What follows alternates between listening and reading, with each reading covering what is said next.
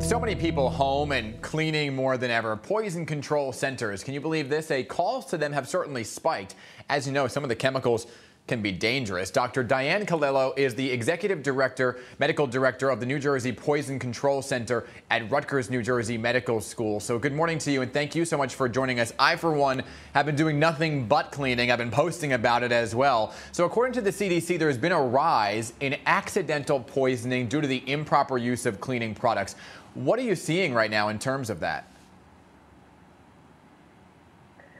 Yes, it, since the onset of the coronavirus pandemic here in the U.S., poison control centers have seen a definite increase in disinfectant, hand sanitizer, bleach exposures, anything people are using to try to keep themselves and their environment clean. So, for example, right, you want to clean your, you want to disinfect your tables, you want to disinfect your car doors, uh, even your bathroom as well, but you can't get your hand on certain products, right? So, people are starting to blend things right now. They're using more bleach than they would in a confined space. So, how do you avoid that? What's your best advice right now to kind of disinfect those areas?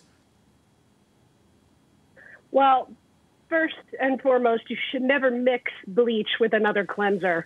A lot of these exposures that we reported are people who are mixing bleach with another cleaner like ammonia or vinegar. That generates a toxic chemical that, if you breathe in, can really damage your lungs. Um, so that's very important. Sometimes people call because they try to disinfect so their food or their produce, um, and that's another no-no.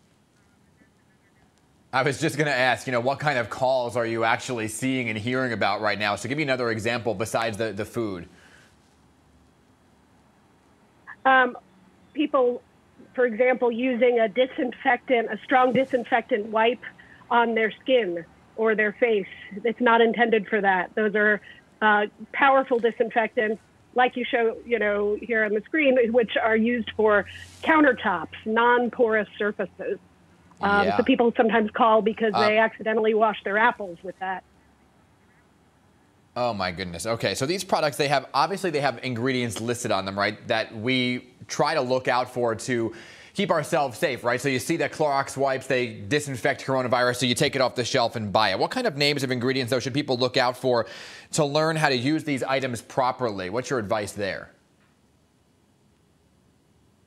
Well, I mean, the major the commercially available disinfectants are EPA approved disinfectants. That's brand name things like Lysol, Clorox, non-alcohol disinfectants.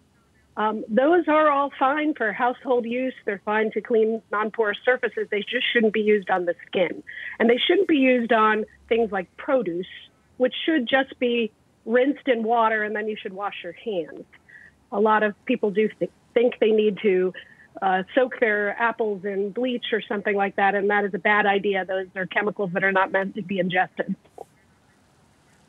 Okay, this may sound like um, a silly question to ask, right? But what are some of the signs and symptoms if you feel like you've come in contact with some of these solutions that you may not have felt you should have? If you spend too much time in a bathroom with the door closed while you're cleaning, what should you be looking out for? So, if you are mixing chemicals in a closed space that's not well ventilated, that causes a respiratory illness. Um, and so the, it begins with burning of the eyes and the throat, but then progresses to coughing and trouble breathing, wheezing for asthmatics. So if you're experiencing any of those symptoms, call your poison control center and we can help you determine how serious the exposure is. But more importantly, try to prevent it by not mixing those chemicals.